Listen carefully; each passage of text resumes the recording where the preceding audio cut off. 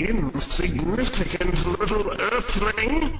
It looks like that ridiculous creature reached my planet because of a blunder you made. Is that right? Hmm? Well, let me tell you how your friend...